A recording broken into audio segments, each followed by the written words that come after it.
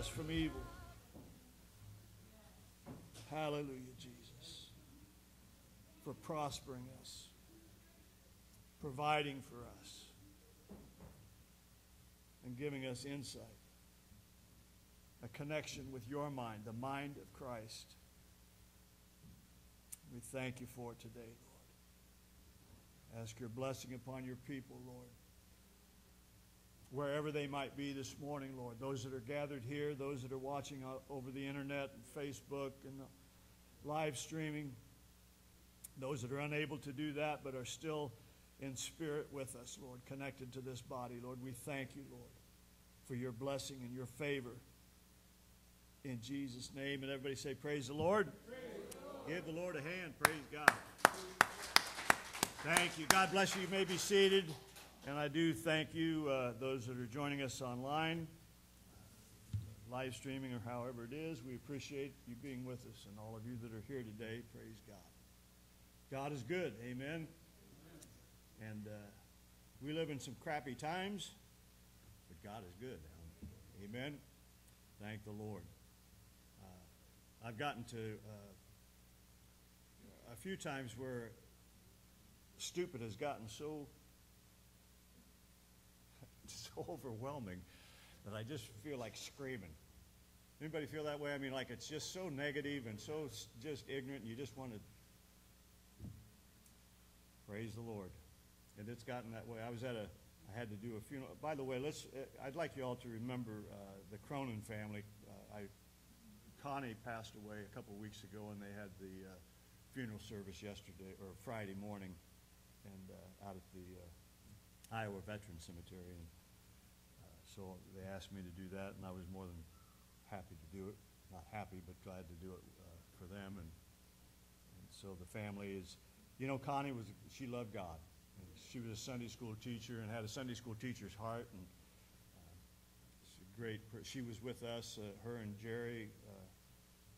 I worked with Jerry when I pastored when we started the church in Ankeny, and I was working part time, I was working full time in pastoring, trying to get a church started there, and I was working for Eagle Iron Works at the time. And in fact, I worked out there for about 10 years uh, with Jerry, and uh, got to know him really well. Anyway, he became a part of the church there in Ankeny and helped me build a baptistry, and Connie taught Sunday school there. And then eventually, after I left that church and we came and started this church, which has been almost 20 years ago now, believe it or not. Uh, they came and she was a part of the, uh, she was the Sunday school department for years, her and Lynette, and they had just a, just a great, and they had so many foster kids, I, I 30 some kids, I think they, they helped over the years, just had a heart for kids and, uh, and a heart for God. So anyway, it wasn't as sad as you might think. She was only 71. You know, if you're 30, that might sound old, but believe me, it ain't that old, praise the Lord. And, uh, but anyway, uh, you know, Connie, she was upbeat. She wanted everybody to have a good time and enjoy things and just, you know, eat the fat and drink the wine. And this is not a, this is not a sad time. I'm where I've been trying to get to all of my life. And so that's the kind of uh, going home party uh, celebration we had, and it was, it was blessed. And so Praise the Lord. But anyway, remember that family. They're doing great, and uh, they've had a couple of weeks, obviously, to kind of uh, let this all settle in and, and uh,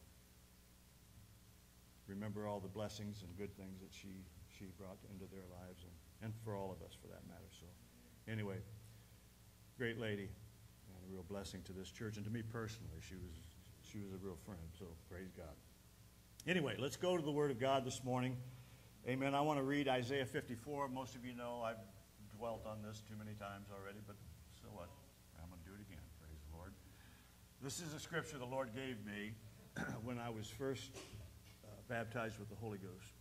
Uh, however long, that was almost 40 years ago now, but we were living in East Texas, and I can remember praying, and I didn't know the scriptures at all. I didn't know uh, hardly anything other than you know, a few scriptures that I learned as a kid, you know, when you see the pictures on the wall and you color them and all that kind of stuff in Sunday school. I had very little Bible uh, understanding whatsoever. And anyway, I was praying in a house we were living in there in East Texas, and the Lord spoke to me Isaiah 54. I didn't even know there was an Isaiah 54. The name Isaiah kind of resonated. I knew that there was an Isaiah. I didn't know anything more than that. So I went back and read it. I had no concept of what he was talking about. I didn't know anything, but I, I'm finding out more and more he was pointing to something far into the future that I wasn't in any way aware of, but yet it was so strong in me that it stayed with me all these years. And I've constantly gone back to it and looked for answers and so on and so forth and, and for direction. And this morning I want to use this as kind of a jumping off place. I've got a bunch of scriptures here to start with, but uh, I want to start with this. Just if you can kind of keep these in your mind, you'll see where I'm going because I'm going everywhere like Tammy, but eventually I will get someplace. Praise the Lord. But in Isaiah 54, the Lord says, Sing, O barren, thou that didst not bear. Break forth into singing and cry aloud, thou that didst not travail with child. For more are the children of the desolate than the children of the married wife, saith the Lord. Enlarge the place of thy tent, and let them stretch forth the curtains of thine habitations. Spare not, lengthen thy cords, and strengthen thy stakes. For thou shalt break forth on the right hand and on the left, and thy seed shall inherit the Gentiles, and make the desolate cities to be inhabited. Fear not, for thou shalt not be ashamed, neither be thou confounded, for thou shalt not be put to shame. For thou shalt forget the shame of thy youth, and shalt not remember the reproach of thy widowhood any more.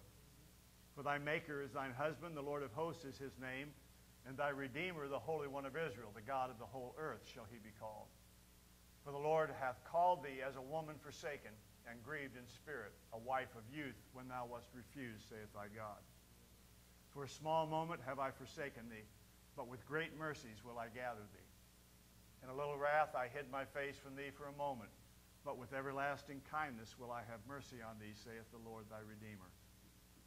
For this is at the waters of Noah unto me, for as I have sworn that the waters of Noah should no more go over the earth, so have I sworn that I would not be wroth with thee nor rebuke thee. The mountains shall depart, the hills be removed, but my kindness shall not depart from thee, neither shall the covenant of my peace be removed, saith the Lord that hath mercy on thee. O thou afflicted, tossed with tempest and not comforted, behold, I will lay thy stones with fair colors, and lay thy foundations with sapphires. I will make thy windows of agates and gates of carbuncles, and all thy borders of pleasant stones. all thy children shall be taught of the Lord, and great shall be the peace of thy children. In righteousness shalt thou be established.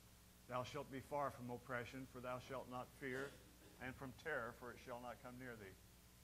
Behold, they shall surely gather together, but not by me. Whosoever shall gather together against thee shall fall for thy sake.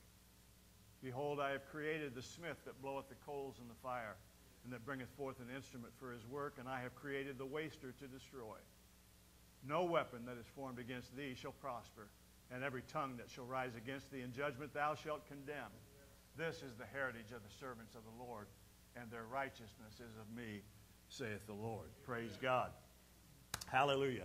Isaiah chapter 60, and I want to read verses 1 through 3. Isaiah 60, verses 1 through 3. Arise and shine, for thy light is come, and the glory of the Lord is risen upon thee. For behold, the darkness shall cover the earth, and gross darkness the people. But the Lord shall arise upon thee, and his glory shall be seen upon thee. And the Gentiles shall come to thy light, and kings to the brightness of thy rising. Praise the Lord. So, uh, I don't know, I talked to Suzanne for just a little bit. Uh, I think it was, was it Saturday or Friday? Friday.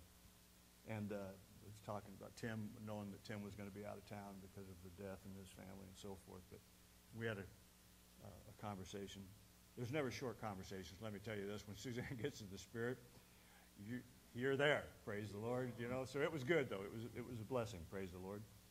But we've talked about this, and Tammy was talking about a little bit. I, what I do I basically just use the Bible. I've read lots of books over the years, and I, I have books. I like to read. I'm not a big internet person. If those of you that know me know, I don't know sick about the internet. I have to have somebody else do everything other than emails. Is about all I can do. I've got a smartphone. It might as well be a flip phone. It just doesn't do anything else. Mike's the only one that can help me do anything with it. I have to every once in a while tap into his genius. But, but here's what I, I've, I've read the rabbis for years. Uh, Hil- Hillel, uh, which they, they say is probably Paul's, was Paul's uh, rabbi, the one who taught Paul. Uh, and I'm probably pronouncing it wrong, so don't worry about it. I don't speak Hebrew. But, and uh, oh, there's a, a couple of other. Ben Hadad is one, and uh, Shemelel, I think it is. But anyway, they, what I like about it is they, they help you to understand the culture. Because so much of this, we read it this way, and it's not written that way, and so we go through lots of stuff trying to figure things out. Just for example, how we talk about, when I say you, we immediately think it's singular. They rarely talk that way. They were usually talking as a group or as a body or as a family. Same way when we'd, when we'd say, uh, uh, remember, the Lord remember you. This is something I'd, I'd seen the other day. In fact, I read it years ago and I never thought much about it at the time, but now it seems to make more sense. But they would say things like, uh, the Lord will uh, remember your sins no more.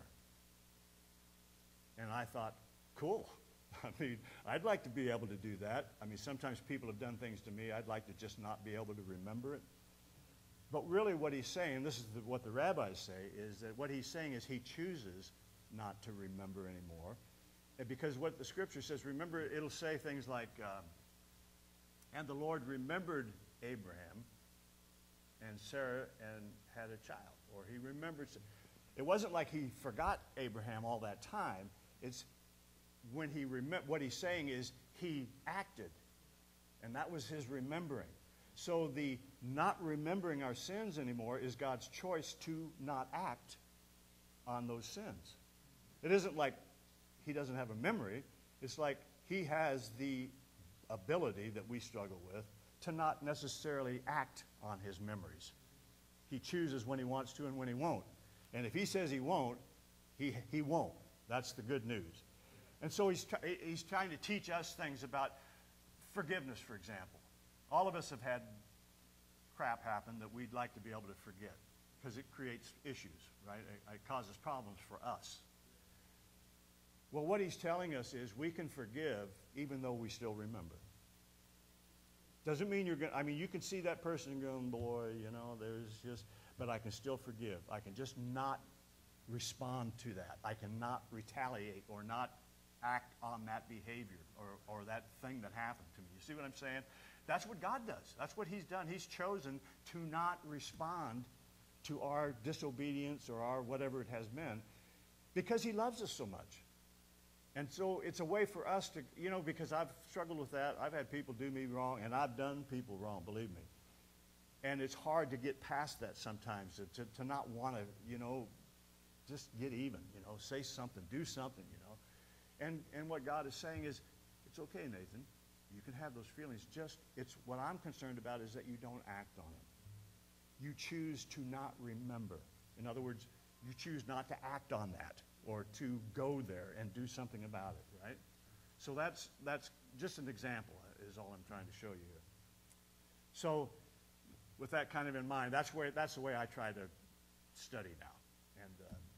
And, it's helpful for me personally. I don't know if it does anything but confuse everybody else, but that's your problem, praise the Lord. Amen. So, we've already heard it said this morning, and we talked about this. We are light. We're called to be light in darkness. Uh, for a world that is and we all know this. It's sinking deeper and deeper into depravity. This is, this is like it's already been said this morning. This isn't just bad behavior. This isn't just evil. This is gross evil. It's gross darkness. If you, if, I'm not even going to go into it because most of you probably already know, but there's crap happening and has been happening that is so despicable, you can't hardly speak it out loud without your skin crawling, you know. It's, I mean, it's that bad. In this society, the, the, the, world that we live in today needs the authoritative voice of God's Word. Nothing else is going to work. That is the lifeline for deliverance. It's the only thing that's going to get us out of this mess, that's going to, going to deliver this world, this nation, this city, this state, this country, this world, everything. Amen. Because Isaiah, for, he, he foresaw and he foretold that a day was going to come when gross darkness would come on the people of the earth. And it's described as a wilderness. Just nothing. Nothingness. Ugly. Evil.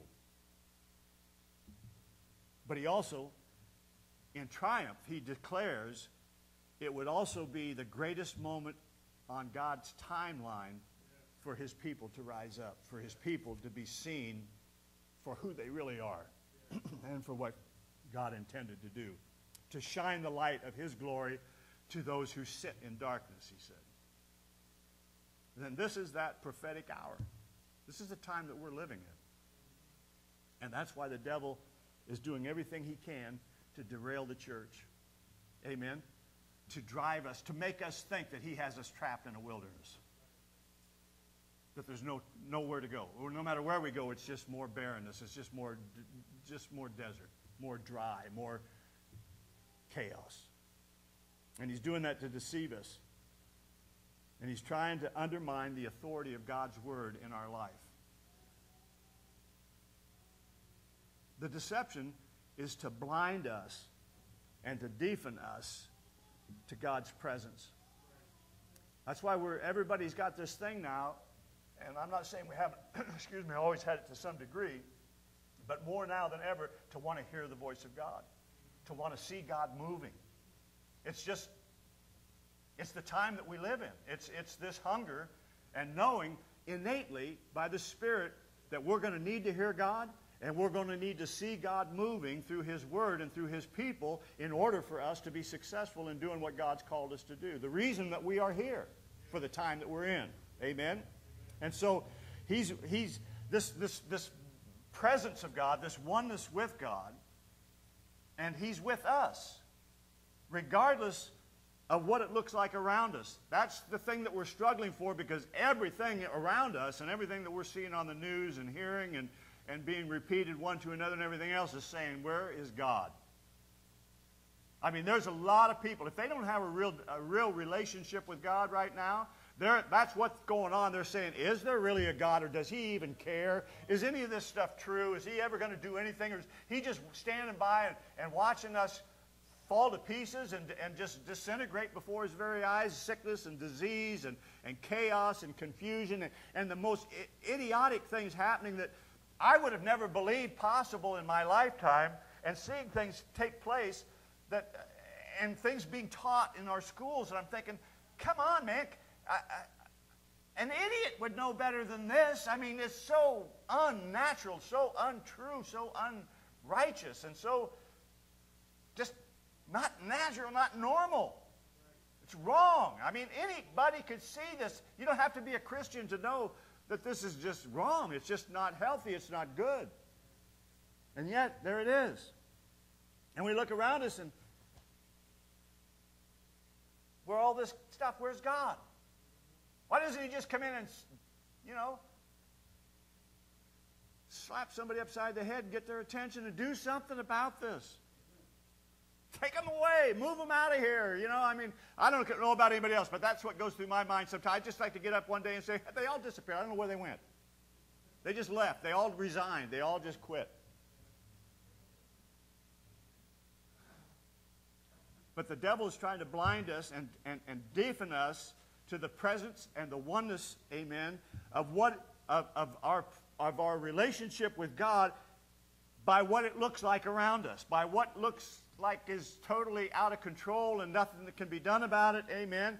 And God is speaking to us in this wilderness. Praise the Lord.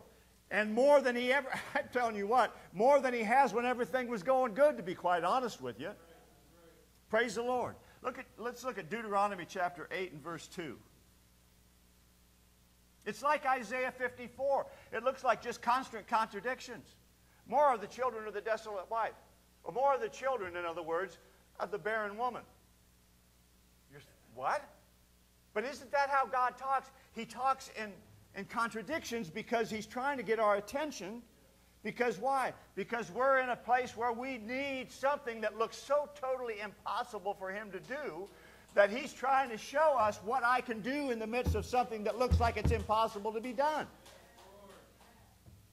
God was giving me things that He was going to do in my life 40 years later that I didn't know what he was even talking about or why I would even care. I mean, but he gave it to me then, and he gave it to me so strong that I could never let go of it. And I tried to apply it in every phase of my life over the last 40 years, and it just never fit. Because I thought it was everything from revival to, you know, expand the church, do this, do that, and the other thing. It, it, never happened. If it had been God, it would have happened when I stepped out to try to make it happen. He was trying to say, look, you're reading it, but you're not hearing what I'm saying. You're looking at it through natural eyes. You're not looking at it the way I'm trying to describe it to you. And part of it was just simply that the day is going to come, Nathan, when you're going to have to look at everything that looks totally impossible and realize that that's my opportunity to turn it into something fantastic. It wasn't necessarily about that sp- specific thing, it was about life. Praise the Lord. So he says, And thou shalt remember all the way which the Lord thy God led thee these 40 years in the wilderness, to humble thee and to prove thee, to know what was in thine heart, whether thou wouldest keep his commandments or no. Isaiah 35, uh, verses 1 through 10.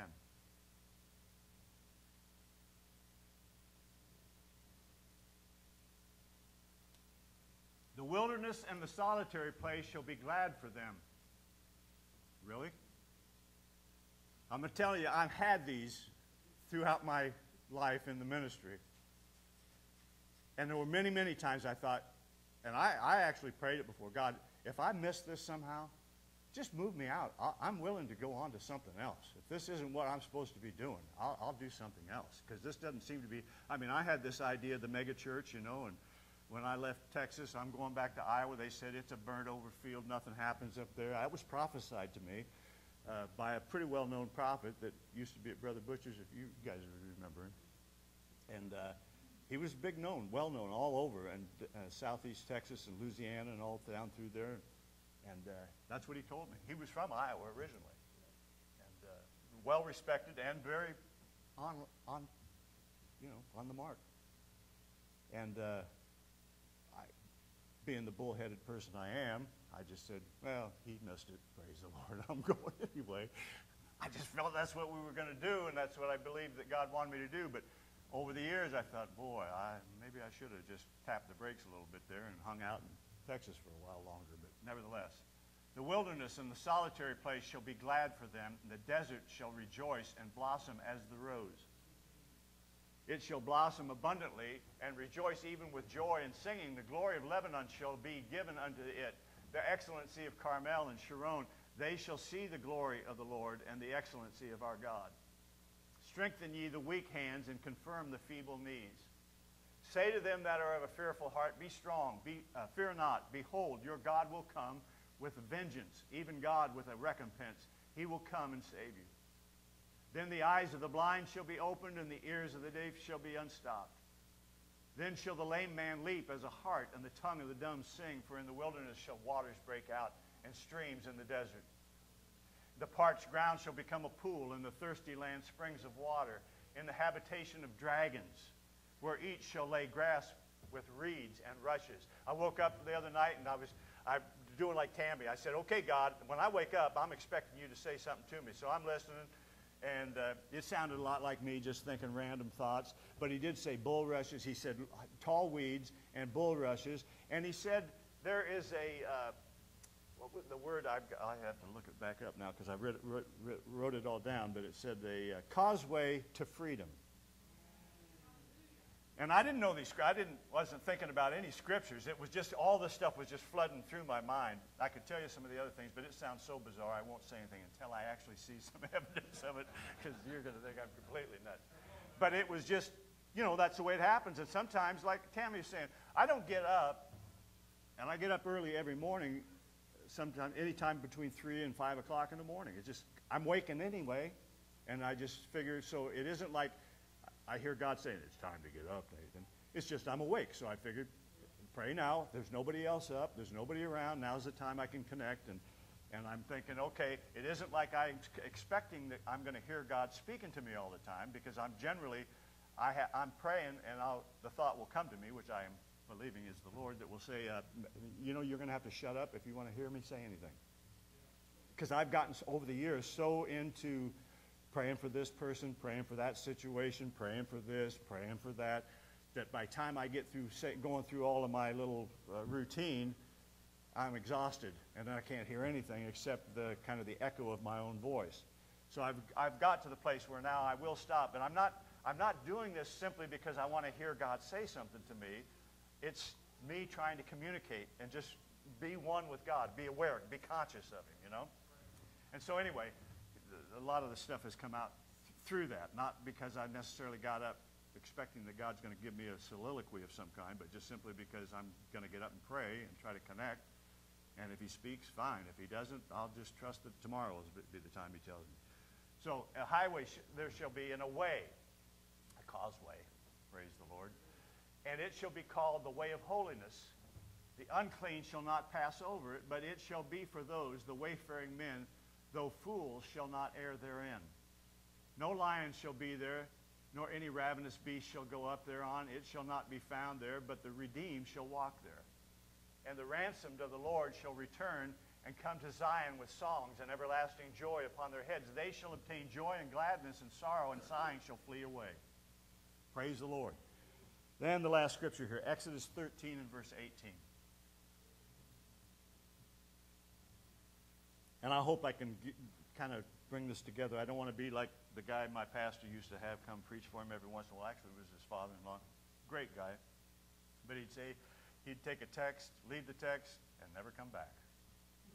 in other words, he'd read the scripture. The scripture was just there so everybody could say, well, he did read the word, and then away he'd go, and we'd never know what that had to do with anything, but praise the Lord.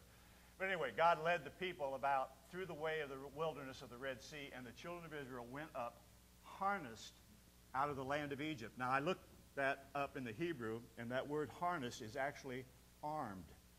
So we read it to sound as though they were, you know, somehow encumbered or, or locked down. But the truth is, God led those people through the way of the wilderness of the Red Sea, and the children of Israel went up armed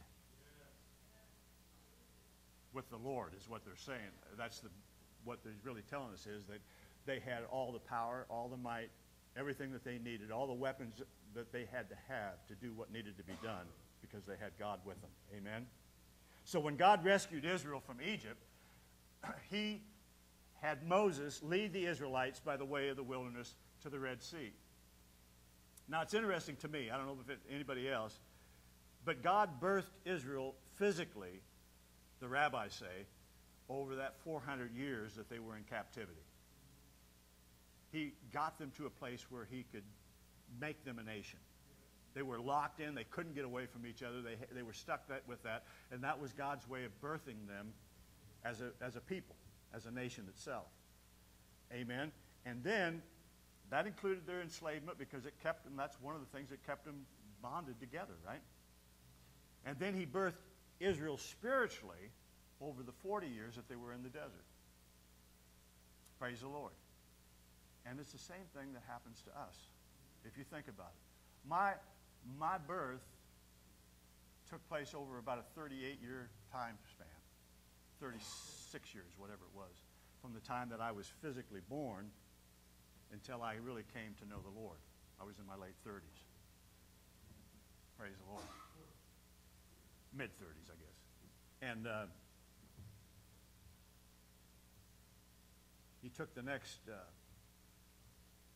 40 years to birth me spiritually.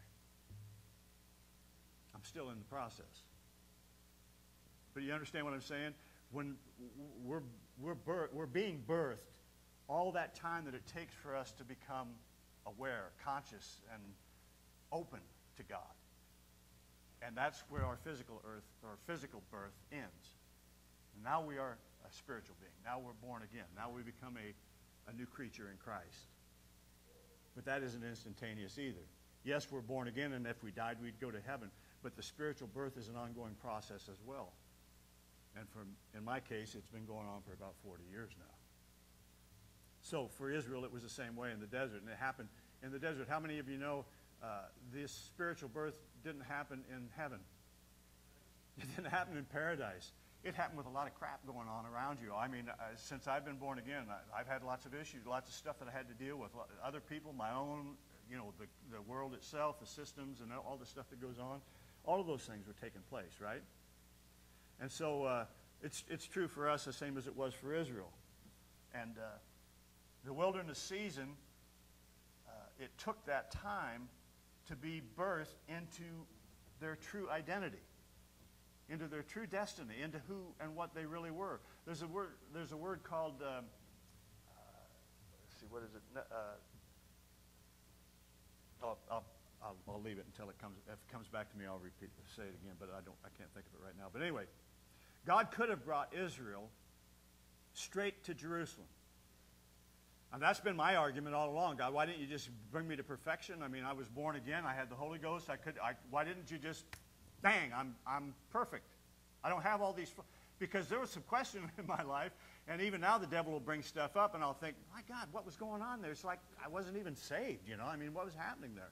And, uh, but, and, and so he, he could have just taken him right to the promised land and given him the Torah, given him the, the Word of God, and why not? I mean, why, why all the grief? Why all the chaos and the confusion? And why did he choose the desert for this place of the probably the greatest uh, group revelation to ever take place on the planet. He, for this revelation of God and God's Word, he takes them out into the middle of this chaotic mess instead of just taking them to the pristine place. Right? I mean, that's so that's what I struggled with. And, you know, and it causes us to think, wonder, did I or didn't I? I mean, what, did I miss this? Something? What did I, what happened? What created this confusion. And how could I have a thought like that? How could I do something like that knowing, you know, why? Why don't you just get me to perfection and let's move on to do what it is you called me to do? Amen? Moses, at the burning bush, what does he do? Moses says, uh, What am I going to tell? Who am I supposed to tell him t- sent me? Give me a name. Tell me who you are. Because they're not going to trust me. They're not going to believe me. And he, here's, the, here's the word that he used for his name. He said, Ehyeh, Asher, Ehyeh. And that means, I am that I am. Or I will be what I will be. And the literal translation, what, the way the rabbis translated it is, I will be known by what I do. I will be known by what I do, is what he literally said to, to, to Moses. So when we think of the desert or the wilderness, just, I mean, what comes to mind? Hot, dry, arid, barren, severe, you know, hard, forbidding. How about snakes? Complaining. I mean, if you were out there very long, you'd be, you'd be murmuring, man, is there any place for some shade around here? And these stinking snakes and cactus. And, you know, we'd, we'd be murmuring and the snakes would be after us, and we'd be, we'd be looking for escapes. Amen? Amen? So, it's a dry, a barren, uh, a forbidden place with nasty stuff in it. Amen? And so, what is it when we go through hard times, when we're struggling, when we're have times of loss? I thought about this at the funeral, and, and, and crisis and tragedy and tears and loneliness. There's hardships. There's, there's problems. There's separations. And, and what do we say? Well, I'm going through a wilderness. Right now, I just, I'm in a wilderness, Nathan. I'm just really struggling. You know? I've been there. I, I know what you're saying. I, I, I do too. And yet the wilderness is a holy place. Praise the Lord. It was in this desert wilderness that God gave his word, his law, and where he revealed his presence, his reality. The wilderness is holy. So you're saying, Nathan, uh, the hard times in our lives, the struggles, the failures, the weaknesses, those are holy, Nathan? I've asked myself plenty of times. They don't seem very holy, Lord but they are if you're a child of God. Because God is revealing something to you. In the Hebrew, the wilderness is called midbar. Midbar comes from a root word which is davar. And davar means to speak. So the wilderness is a midbar. This isn't really my message, but it, it works with it. Amen. So the wilderness is midbar, a place where God speaks, or a place of God speaking, the place of his voice, they say. It's where God especially talks to us. So the logic says that he brought his people into the wilderness, into this midbar, so that he could speak to them. He brought Moses, if you remember, he brought Moses into the midbar to speak to him in the burning bush. Moses hadn't heard from him before that. Right? It was just his parents said, you know, the only way to save you, get you in the boat. He brought Elijah to the midbar to speak to him in that still small voice. And he speaks to us in the wilderness too. So, what's it about wildernesses that make it a place of God speaking? In the wilderness, we tend to get focused. We tend to zero in on where is God and what is He saying. Isn't that where, where we're at right now? That's why this has been going on for months now for most of us. It's like, God, if you don't speak, I don't have any answers for this. And obviously, neither does anybody else because look at the mess. I need to hear from you. I need to see your hand moving here. I need to hear your voice. I need to know what you want to do and what you want me to do in order to not lose my mind in the middle of all this insanity. Amen? In the wilderness, we get focused. See, we're not supposed to be afraid in the wilderness. We're not supposed to fear or hate the wilderness that we go through. We're supposed to embrace it. Now, can you imagine that?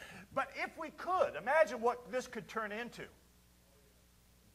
We're not supposed to be afraid of it. We're supposed to embrace it. Amen. We're supposed to draw closer to God because of it, get closer to Him, and listen to Him, hear what it is that He's saying to us. In the wilderness in our lives is more than hardship. It's more than, it's more than problems. It's more than crises. It's the holy ground. It's the midbar. It's the place of God's voice. It's the place where you'll hear God's voice more than you've ever heard it before, clearer than you've ever heard it before.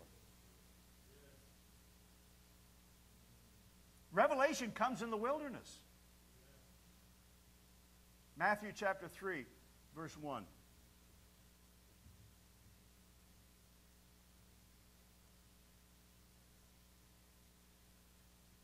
In those days came John the Baptist preaching in the wilderness of Judea. Verse 13 through 17.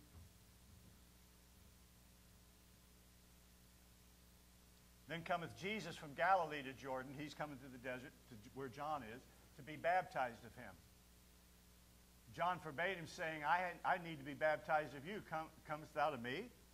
And Jesus answering said unto him, Suffer it to be so now, for thus it becometh us to fulfill all righteousness and then he suffered him. And Jesus, when he was baptized, went up straightway out of the water, and lo, the heavens were opened unto him, and he saw the Spirit of God descending on him, upon him like a dove, and lighting upon him. And lo, a voice from heaven saying, This is my beloved Son, in whom I'm well pleased. Revelation. For everybody that was there. And just like Israel and just like Jesus in the wilderness, we have to learn to depend on the Lord for direction. They needed a, a, a pillar of fire by night, pillar cloud by the daytime. Amen? We need the same thing. Protection, his covering, his, his, he, he followed them. You know, the, the, he, he was there with them. Amen? And provision, and revelation, and identity. These were slaves. They needed to know they were not slaves. They were something else, but that's the only thing they understood. That's all they had, could comprehend. And the reason for that is because trust and dependence come from connections that are built on real communication. You can't trust somebody that you can't communicate with because you don't know where they're coming from, what they're going to do, how they feel, what they believe, or what they don't believe. Amen. The more communication you have, the more potential there is for trust. And that's why the root word for desert, or the root word for desert is davar, which also means to speak. Without that, it's hard to trust God completely for any direction. Praise the Lord. Fire by night, cloud by day. Jesus said, Follow me. Right? Word of God made flesh. Thy Word is a lamp unto my feet and a light to my path. Trying to get us to trust Him, trying to get us to have communication so that our trust will grow. John 6 31.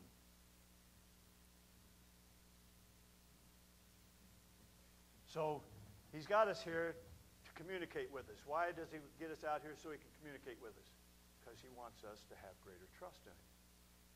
Wants our faith to grow because there's something he's wanting to do that is much bigger than anything he's ever done in any of our lives or all of our lives corporately. And the only way he can do that is by our trusting him completely.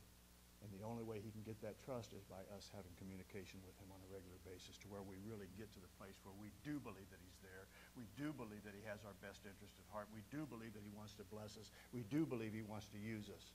We do believe he wants to work miracles. We do believe he wants to make a change in this world. And he wants to do it through us.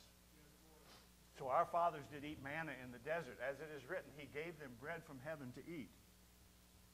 So we, he wants us to trust him for our provision. You're hearing all this stuff now. People are starting to hoard. People are starting to, you know, go, go buy up all the, uh, you know, the camping pouches and, you know, the MREs and everything else. And start. And it's already starting. Praise the Lord. I'm trusting the Lord for my provision. Now, that doesn't mean I won't buy an extra couple of chickens or something if I have the extra money or whatever, because I do have a freezer. I can throw them in there. But I'm not planning on my freezer supporting me through some long, drawn out issue. You know what I mean? I'm trusting God's going to make the way. However he wants to do it, he'll, he'll make that clear to me at the time. Amen? And so he's going to take care of us. John chapter 6, uh, verse 33 through 35.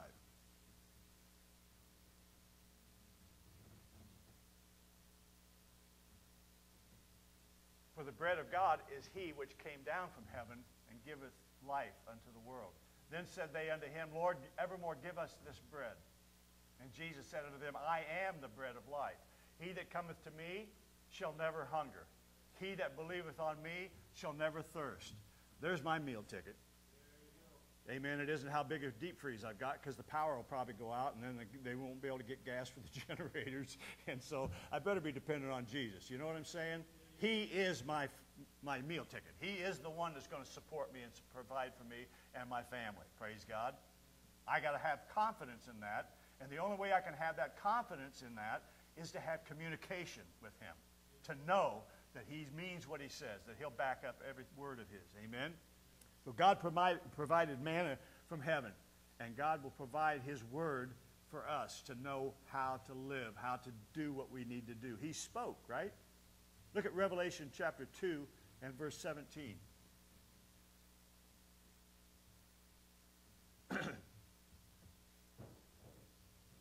he said, He that hath an ear, let him hear what the Spirit saith unto the churches. To him that overcometh will I give to eat of the hidden manna, and will give him a white stone, and the stone a new name written, which no man knoweth, saving he that receiveth it. Name. I started to say that a few minutes ago at the very beginning, and I lost track of my thoughts here. But that word name is uh, Shem. In the, the there's uh, one of the prayers that the rabbis pray is Baruch Hashem, or bless the name, because they won't use the, they won't speak the name. That's why they just use the why, you know, Yahweh Ha Ave, and it's but that's what they do. They just say Baruch, Barak Hashem, which is bless the name. Praise the Lord. Well, that word name, so that we think of it as a name, it's John, it's it's Don, it's Nathan, it's Jane, it's it's Megan. No, he, that what he means by a name is more than a way of identifying people. It's your value. It's your worth.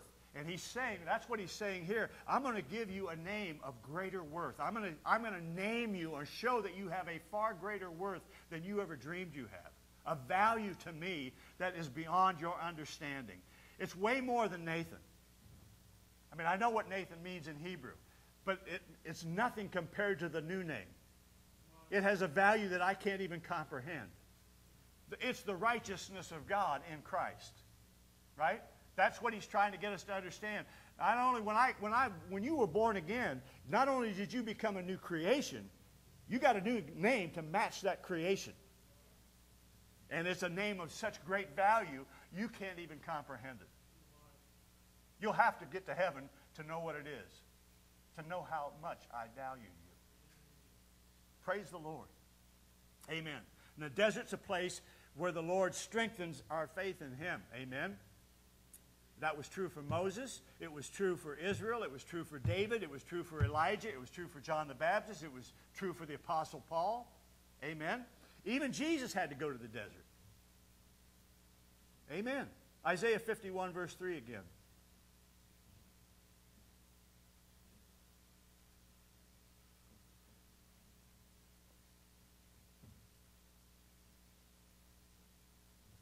For the Lord shall comfort Zion. He will comfort all her waste places, and he will make her wilderness like Eden, and her desert like the garden of the Lord. Joy and gladness shall be found therein, thanksgiving and the voice of melody. Ezekiel 36 and 35.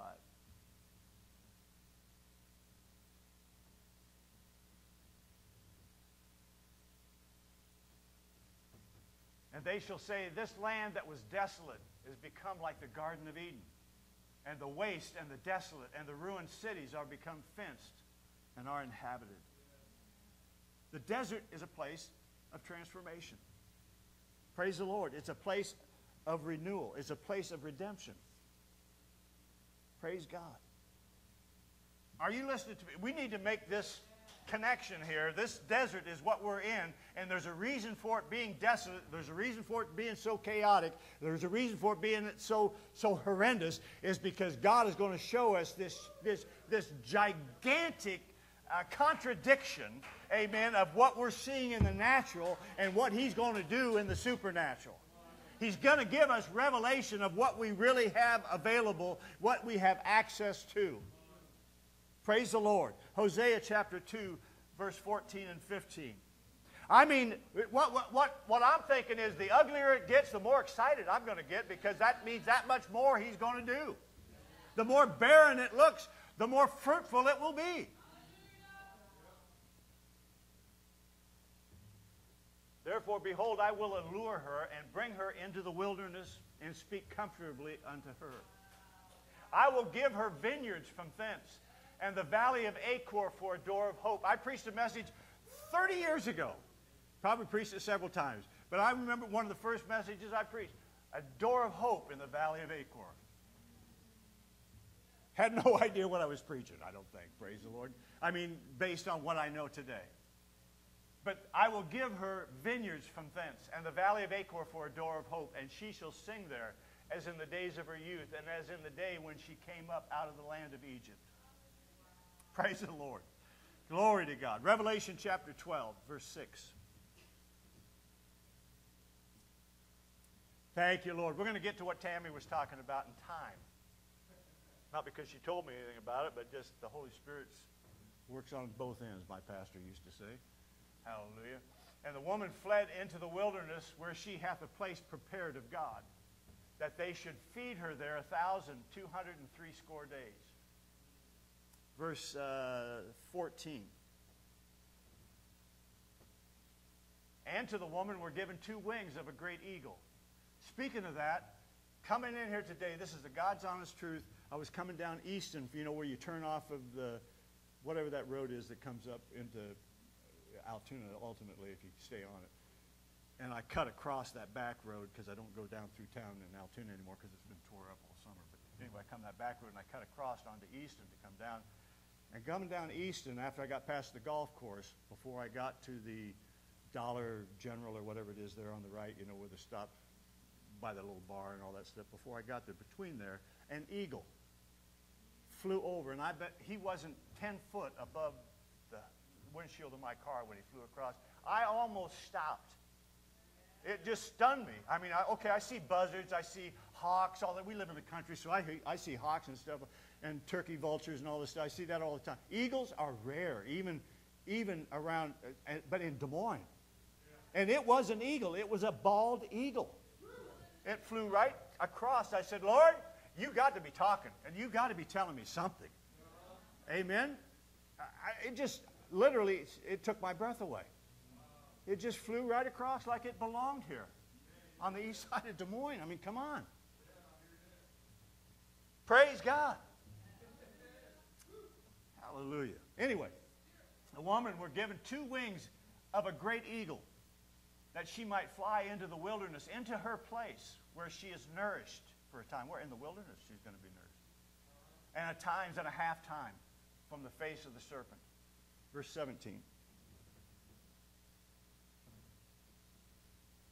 And the dragon was wroth with the woman and went to make war with the remnant of her seed, which keep the commandments of God and have the testimony of Jesus Christ. Praise the Lord. Amen. So it was in the beginning, so it will be in the end. What goes around comes around. Nothing new under the sun. Anything I've ever done, I'm still doing. Praise the Lord. Jesus is the King of Kings. Praise the Lord. He, he is the King of the Jews. And one definition of Christ is the anointed king. Praise the Lord.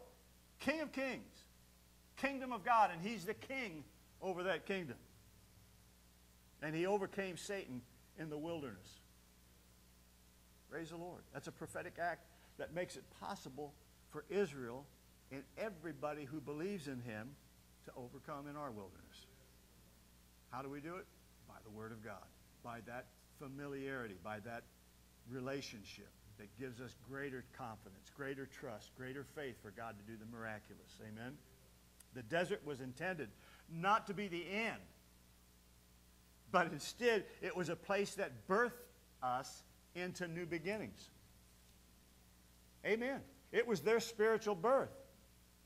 Slavery, 400 years, was their natural birth.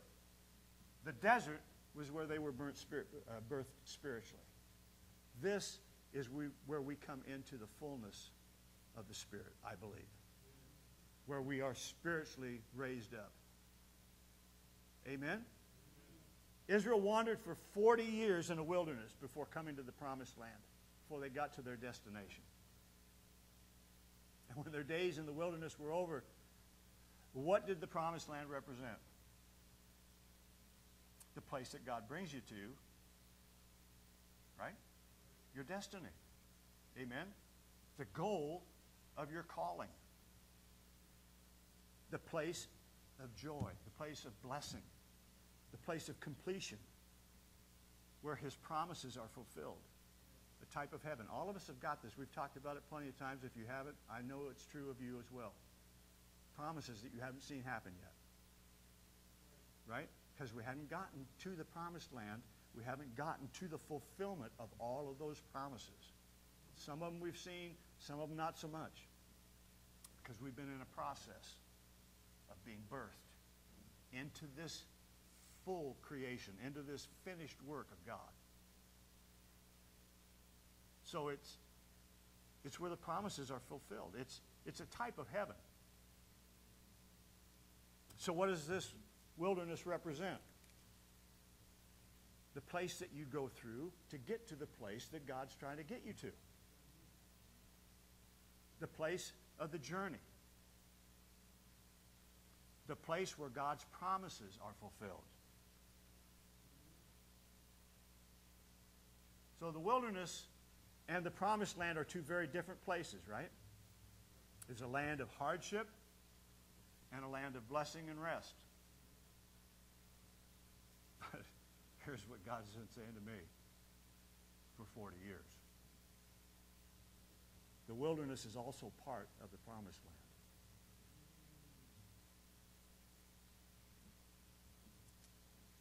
It's part of what Isaiah 54 is talking about. If you look at a map of Israel, the promised land, there's the wilderness of Judea, the wilderness of Arabah, the wilderness of the Negev, all part of the promised land. In fact, if you check out a map, the wilderness makes up more than half of the promised land. So most of the promised land, you could say, is wilderness. It's a key part of the promised land. It's critical to the promised land. So in our lives, we're going to have hardships. We're going to have losses. We're going to have challenges, fears, tears,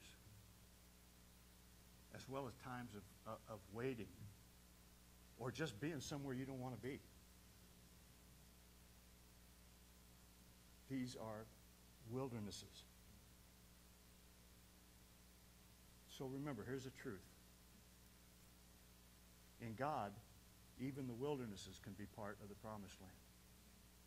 In other words, the wilderness is not outside the purposes and the plans of God for your life. They're not random. They're not punishment.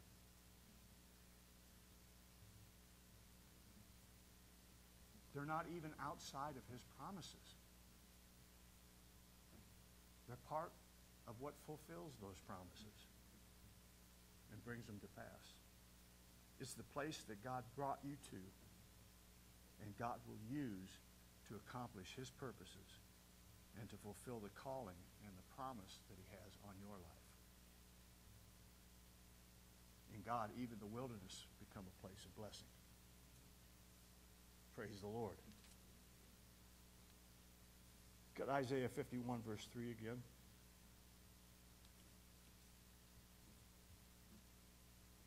Now I'm going to give you a chance to throw rocks. Praise the Lord. Hallelujah. For the Lord shall comfort Zion. He will comfort all her waste places, and he will make her wildernesses like Eden, and her desert like the garden of the Lord. Joy and gladness shall be found therein, thanksgiving and the voice of melody. Hebrews 11, verses 9 and 10.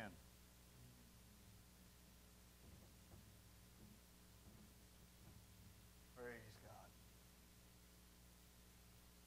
By faith, he sojourned in the land of promise as in a strange country, dwelling in tabernacles, tents, with Isaac and Jacob, the heirs with him of the same promise. For what?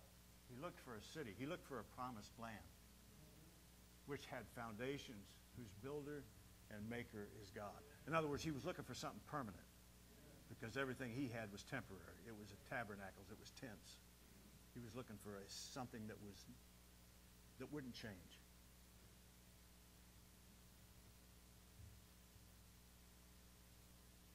So what God is saying to us this morning, and what he's been saying to me is that because he's with us, the journey is also part of the destination. I know I'm getting all kind of juxtapositioned here, but I'm just saying Isaiah 54, once he started making this make sense to me, it's making everything else fit. Praise the Lord. So your life on earth, listen to me, I believe the Lord spoke this to me a couple nights ago, is part of heaven's territory. It's part of the domain of heaven. So even while we journey on earth, we can be living a heavenly life. And that's what he's talking about when he says you are seated with him in heavenly places. Whatever you bind on earth is bound in heaven.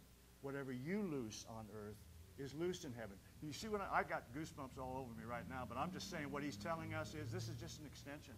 As long as you're here, as long as you're the new creation in Christ, you take this wherever you go. That's what he told Abraham. Wherever you set your foot, that's yours. Wherever we set our it's the kingdom of God. Whether I'm in heaven or whether I'm on earth or beneath the earth or wherever I end up, if I'm there in faith, there's some of heaven right there with me. And there's some of me in heaven. Praise God. So no matter where we find ourselves, no matter what the situation looks like today, no matter what our circumstances, no matter what our surroundings, he's saying, rejoice. You need to praise the Lord and keep moving forward. Keep moving into more of God, into more of what he has for us. Choose, he says, choose to live in victory, even now when it looks like total defeat. When it looks like everything that's being sent back to us is negative, it ain't going to happen, it's all going to fall to pieces. He's saying you, you can make a choice to live in victory even now in the wilderness. Praise the Lord. Miracles are going to happen all around us. And God's voice is going to be awesome because we're going to get mind blowing revelation here. Praise the Lord. The wilderness is part of the promised land. So we need to live today with expectation of the promise. And he said, if you do that, then you'll see it and you'll walk in it. What did he tell Abraham? He said, just go. You'll know when you get there. Go to yourself, he said. And you'll see it and you'll walk in it. The beginning of heaven on earth. As it is written, as it is in heaven, so shall it be on earth. On earth as it is in heaven. I, just to show you that how God will cause things to connect with you. I was watching The Watchman uh, on a Christian television show yesterday afternoon. I watch it usually every week. It's a pretty good show. It's, it's about Israel. It shows you the history of Israel. And this uh, Eric uh, Stakelbeck is the one who, who's the uh, kind of the MC of it. He's usually he's usually uh, talking with rabbis or some uh, geologists or archaeologists or you know what, Israeli people. So he's talking to this rabbi, and this rabbi takes him to Hebron, which is actually in Palestine now, but they took it back in the Seven Day War, and, and now it's kind of shared the the, the uh, burial place of uh, Abraham and Sarah. And Jewish tradition says it's also the burial place of Adam and Eve. That goes back a while. Praise the Lord. Well, there's the temple or a building that uh, Herod the Great built. And then uh, the Slavic peoples came and over, overran the country and dominated it for years and years, and they added some uh, minarets to it and some other stuff, changed it around a little bit. Now they share it with the Israelis, kind of like the temple only this, they, they have access to the inside. The floors are the exact same floors that were there when Herod built it over 2,000 years ago. So anyway, here's the interesting thing. He said, uh, it's uh, Netzah is what, he said, we have it back. We have it now. And this is where our, this, this shouts it's, it's Israel. It, it belongs to us. God give it to us. God gave it back to us. And it shouts Netzah. And Netzah, he said, what does Netzah mean? And he said, it means victory. And he looked at him, he's cool. And he said, but not only victory, it means eternity. Heaven. God's not done with this country, I'm telling you. He's going to give us victory because heaven is going to invade the earth. Hallelujah. And we are the army of the Lord. And I'm telling you, we're, we're in such a time as this. God has miracles planned for us, supernatural visitations, revelations of God that we can't even imagine yet. He's given us victory. He's given us eternity here on earth. In Jesus' name. Sing, O barren, thou that didst not bear. But more are the children of the desolate.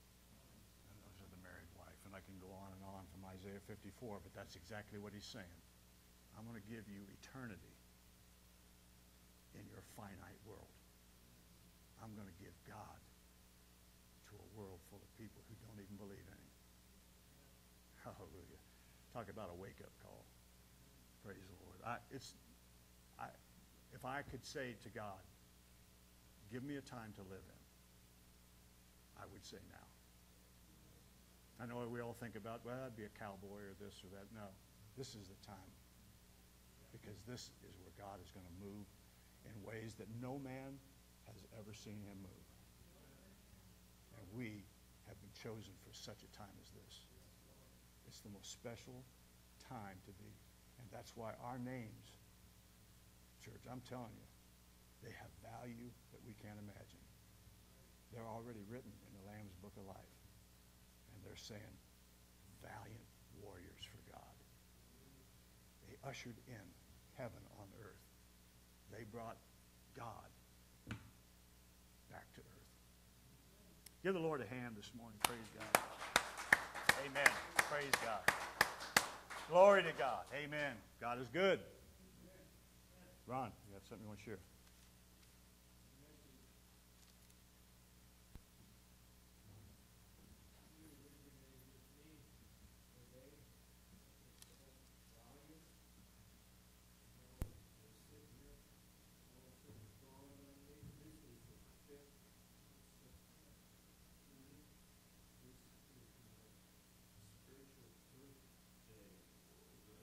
Praise the Lord. Hallelujah. Praise the Lord. Yes. Amen. Now, is it Rosh Hashanah? Isn't it? Tuesday? Yeah.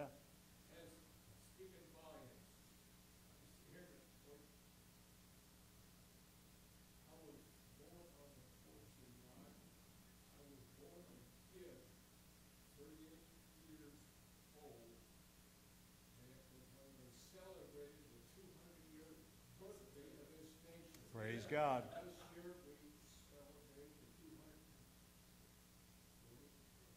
Yep. Praise the Lord.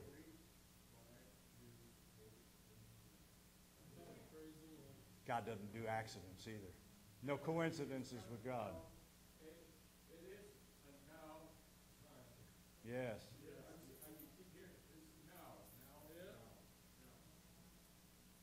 Praise the Lord. Praise the Lord. I, I feel like Ron should speak a lesson over this Sunday, don't you? Right, if you wanna go up front, Ron, you wanna go up front and speak a blessing over this body and speak a now word, I believe it's yours to have a voice and bless the people. Praise the Lord. Yes, amen.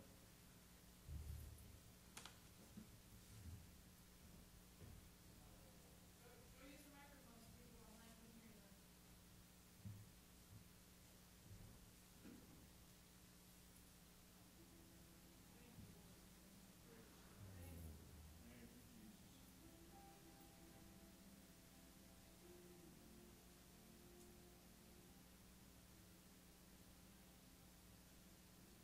The Lord bless thee, the Lord keep thee, Lord make his face shine upon thee and be gracious upon thee.